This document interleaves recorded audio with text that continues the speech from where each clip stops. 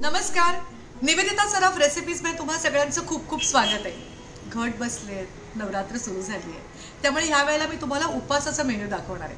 दाण्याची आमटी वरीच्या तांदळाचा भात आणि केळ्याचे वडे. केळ्याचे वडे म्हणा पॅटिस म्हणा कटलेट म्हणा. दाण्याची आमटी मी माझ्या आईकडनं शिकले. आईच्या हातची दाण्याची आमटी अप्रतिम पाहिजे. दाण्याची आमटी आणि वऱ्याचा भात दोन्ही मला आईने शिकवले पण केळीचे जे वडे आहेत किंवा जे पॅटिस आहेत ना ते आमच्या सरूनी शिकवले ती इकडनं पाठीमागून मला असं नाही नाही सांगतीये. सरू ताई आमच्या तिने मला हे शिकवलंय. तिला मी किती वेळा म्हणते कॅमेरासमोर ये पण ती कधीच कॅमेरासमोर येत नाही. नेहमी लाजते. बघूया कधी येईल. हे वडे कसे करायचे मला सरूनी शिकवलंय. सो आपण बघूया. दाण्याच्या आमटीसाठी काय साहित्य लागतं ते? दाण्याच्या आमटीसाठी लागणारे साहित्य आहे. मुख्य म्हणजे दाण्याचं कूट कारण ती दाण्याची आमटी आहे. त्याचबरोबर दोन बटाटे उकडून त्याच्या मी फोडी करून घेतलेल्या आहेत. पाव कपापेक्षा पण थोडी कमी चिंच कोळून घेतलेली आहे. काही लोक त्याच्यात आमसूल घालतात पण माझी आई चिंच वापरायची. पाव कप त्याच्याही पेक्षा कमी गुळ गुळ आपण साधारणतः अंदाजाने घालूया पण मी आता पाव कपापेक्षा कमी गुळ घेतलाय.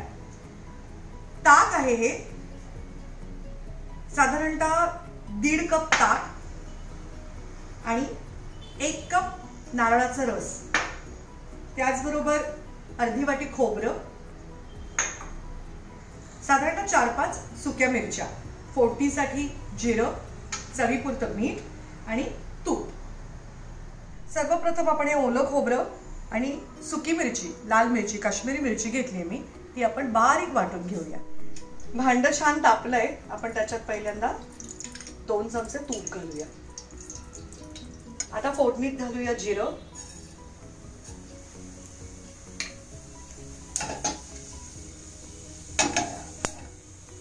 आता घालूया त्याच्यामध्ये सर्वप्रथम बटाटे.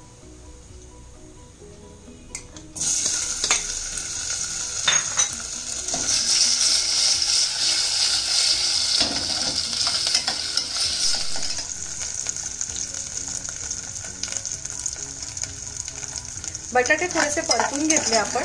आता घालूया. हा दाण्याचा कूट. हा दाण्याचा कूट मी मिक्सरने नाही केलाय. माझ्याकडे ती जी दगडी आहे त्याच्यामध्ये मी हा ठेचून आहे कारण मिक्सरमध्ये केलेला दाण्याचा कूट एकदम असा बारीक होतो. तसा ह्या आमटीला आहे आपल्याला जरा भरभरीत हवा. आता आपण हे छान परतून घेऊया. आता हे छान आपण परतून घेतलंय. आता हे जे वाटण आपण मगाशी केलंय खोबरं आणि सुक्या मिरच्या ते आपण वाटण ह्याच्यात घालूया. काश्मीरी मिरचीमुळे त्याला किती छान रंग आलाय बघा.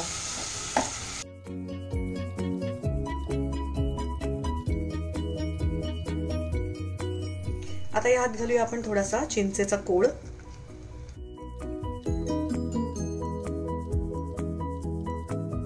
मोठे चमचे गूळ.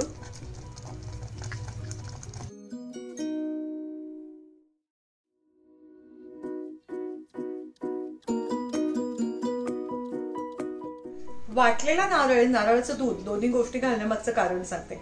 मला आठवतं माझ्या लहानपणी जे खोबरं यायचं ना ते नुसतं एवढंसं वाटलेलं खोबरं टाकलं तरी सुद्धा इतकं छान दाट आणि सुंदर स्वाद यायचा त्या पदार्थाला. आता काय माहिती नाही म्हणजे आताचे जे नारळच असे आहेत ना की ते खोबरं तेवढं छान तेवढं असं सुंदर फुललेलं मिळतच नाही. त्यामुळे मी अलीकडे काय करते नारळाचं वाटण जरी घेतलं वाटणात नारळ जरी घेतला तरी थोडासा नारळाचा रस पण त्याच्यात घालते. तसं आपण थोडासा नारळाचा रस घालूया.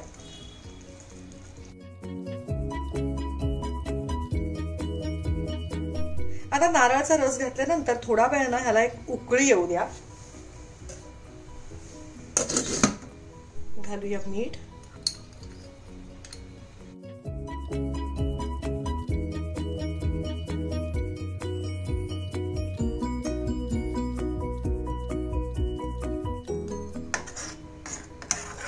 हे चांगलं उकळलंय तो गूळ पण विरघळलाय त्याच्यामधला. आता यात आपण घालूया सर्वात शेवटी ताक.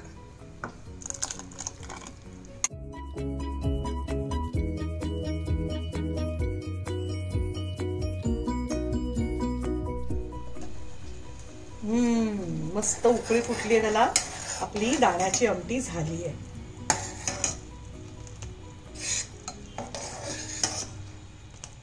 आता आपण वरीच्या तांदळाचा जो भात करणार आहोत त्याच्यासाठी लागणारं साहित्य बघूया. हे एक दीड कप वरीचे तांदूळ आहेत जे मी चांगले धुवून बऱ्याच वेळ असे हडकट ठेवले होते आणि ते आता असे काढले सुके झालेले. ते ना छान फुलतात त्याच्यानंतर. त्याचबरोबर दोन टेबलस्पून म्हणजे दोन मोठे चमचे दाण्याचं कूट आहे. वरून घालायला थोडंसं खोबरं आहे एक ते दीड टेबलस्पून चवीपुरतं मीठ फोडणीसाठी जिरं आणि या दोन ते तीन हिरव्या मिरच्या मी अशा खरंगटून घेतल्या. आणि हे आहे ताक. आई नेहमी जसं आपण नारळी भात कसा नारळाच्या दुधात शिजवतो. त्याचप्रमाणे वरीच्या तांदळाचा भात आई नेहमी पातळ ताकात शिजवायची. त्याने त्याला एक खूप छान चव येते.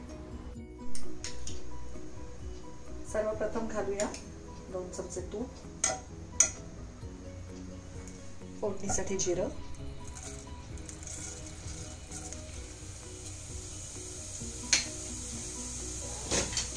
त्यावरच घालूया ही हिरवी मिरची जी आपण खरंगटून घेतली होती. मग घालूया दाण्याचं कूट. आता घालूया आपण ही वरी. जी आपण धुवून घेतली आहे.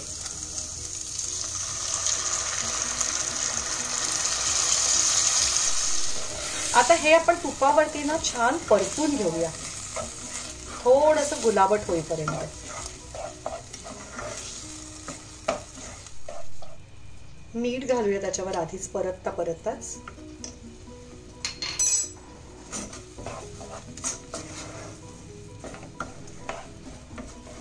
पाच दहा मिनिटात तरी चांगली ती परतावी लागते वरी. म्हणजे ते असे ना मोकळी मोकळी होऊन छान फुलते. अजून थोडीशी ती वरी परतायला पाहिजे. त्याला अजून थोडासा जरा मोकळी होऊ दे आणि गुलाबटचा रंग येऊ दे आता छान ही वरी फुलली आहे. मस्त भाजून झाली आहे ती तुपामध्ये. आता आपण त्याच्यात सर्वप्रथम थोडं गरम पाणी घालूया.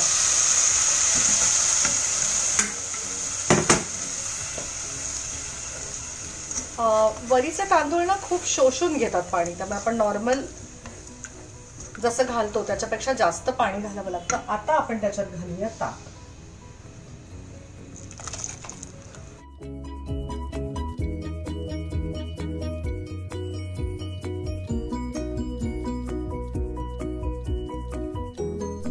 आता आपण ह्याच्यावरती झाकण ठेवून देऊया.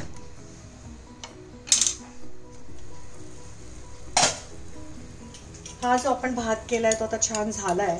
त्याला थोडस वरून साईडने किंचित तूप सोडायचं. आणि थोडस ओलं खोबरं घालायचं.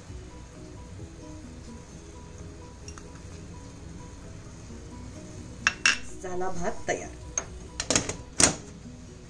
केळ्याच्या वड्यांसाठी लागणार आपण साहित्य बघूया. ही पाच केळी आहेत कच्ची केळी. ही मी धुवून छान पुसून घेतली आहे चवीपुरतं मीठ जिरं थोडस भाजून खरंगटून घेतलंय. दोन हिरव्या मिरच्या खरंगटून घेतल्या आहेत. चिमटीभर ओवा आणि साधारणतः एक ते दीड टेबलस्पून दाण्याचं कूट. कुकरमध्ये थोडंसं पाणी घेतलंय. आता ही केळी मी वाडग्यात ठेवते तुम्ही कुकरच्या डब्यातही ठेवू शकता.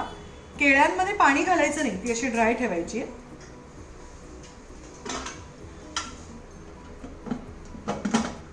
साधारणतः पाच सहा शिट्ट्या येईपर्यंत ही केळी आपण शिजवून घेऊया. शिजलेली केळी सोलून झाल्यावरती ही अशी दिसत आहेत बघा. छान असा घट्ट स्मॅश झाली आहेत ती. आता त्याच्यात आपण या गोष्टी घालूया. जिरं ओवा थोडासा दाण्याचा कूट हिरव्या मिरच्या चवीपुरतं मीठ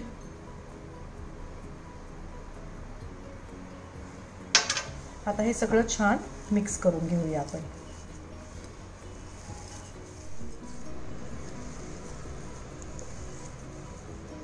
आता याचे आपण असे छोटे छोटे वडे करूया.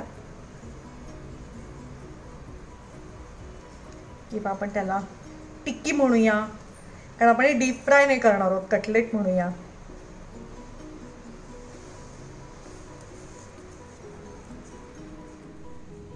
मी मी आता माझ्याकडे हे जे पॅन आहे ज्याला अशा ग्रिल सारखं रेषा आहेत त्याच्यावरती करते. तुम्ही कुठल्याही पॅनवरती करू शकता फ्राईंग पॅनवर तव्यावर कशाही करू शकता.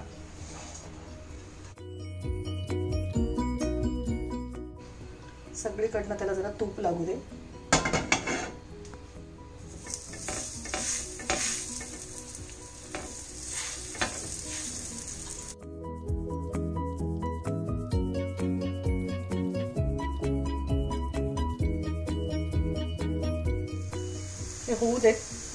आधी पाचच्या बाजूने मी मग आपण ते उलटे करूया.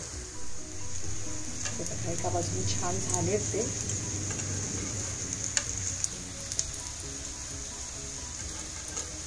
सगळं अलगद उलटायचे. आता ते दुसऱ्या बाजूने होऊ देऊया. दोन्ही बाजूनी खरपूस झाले. मुळात काय तशी ती केळी उकडलेलीच असतात ना त्याच्यामुळे तसा प्रॉब्लेम येत नाही. छान झालेत दोन्ही बाजूने. आणि बघा किती कमी तूप आपल्याला लागतंय. हार्डली एक चमचा तुपामध्ये केलंय आपण ते एक दीड चमचा तुपात.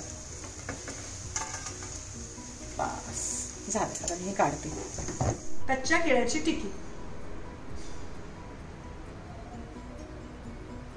तयार आहे.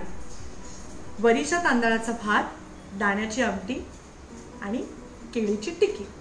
मस्त बेत झालाय उपासाचा.